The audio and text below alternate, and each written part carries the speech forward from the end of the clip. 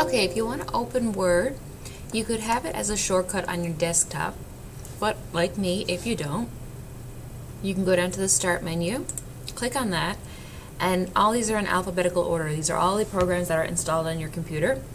So you can scroll down and look for W, Word. Here's Word.